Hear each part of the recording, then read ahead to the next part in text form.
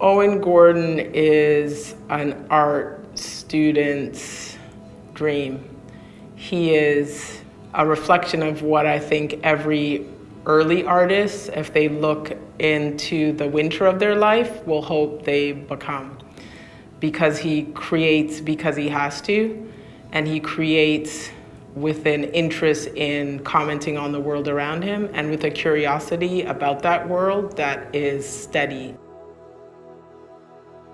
He's as curious when you talk to him about current events, family things, like it's everything from the mundane to the intricately detailed and the sublime that his conversational threads will go through.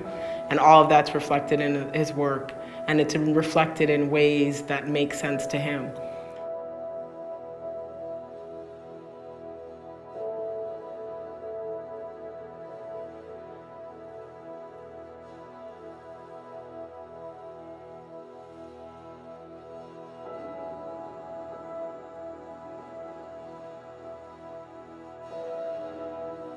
I would say my reaction to seeing his work for the first time was both this collision of visual impact with overwhelming feeling.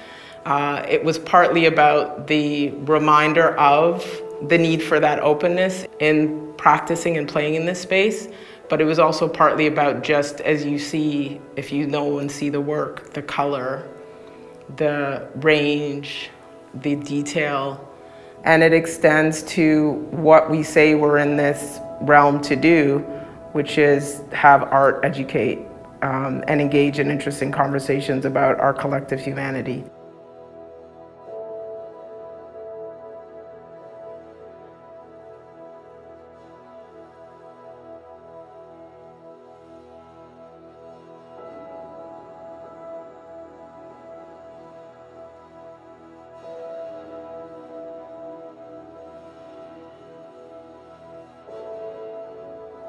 There's always going to be sentiment around on the beat because he spent, uh, I think it was 27, just under 30 years working in solid waste at the city. He retired in management, uh, but started out on the beat as a garbage man. And so I will never look at a garbage man the same way. Mr. Pip is one of the ones that's rooted in a story that he heard on the news late night somewhere in a, a Polynesian or South Pacific island and this weird thing around I think it was a U.S. Uh, presence of military that was a mistake assault on a community and the presence of a local wealthy man and his wife, which you can see uh, in the white suit and the woman with the umbrella. It's like all these subtleties that show wealth that is partly constructed around colonial identity. How many of us have watched those films where the landowner is the guy in the perfect white suit?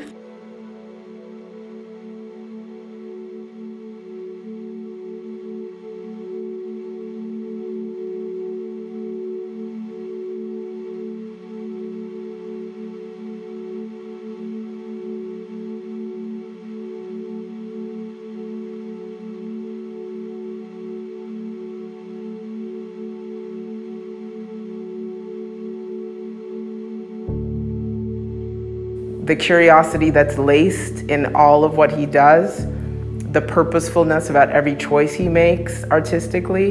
It's a, it's, a, it's a case study in how to have, as an artist, the freedom to play and to create without any sense of rules. It's, it's, it's, the, it's the gorgeousness that comes with reckless abandon within the intersection of talent and creativity.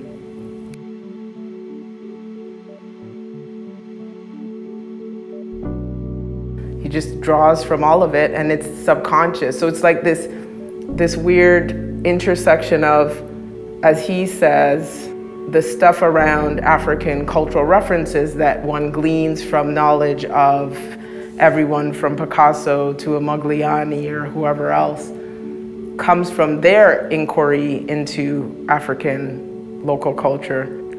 For him, all of that is just in him as a man of African descent uh, who's descended from slaves who was brought to from the West Africa into the Caribbean. For him, it's all subconsciously there. It's, it's a part of what stays in his DNA.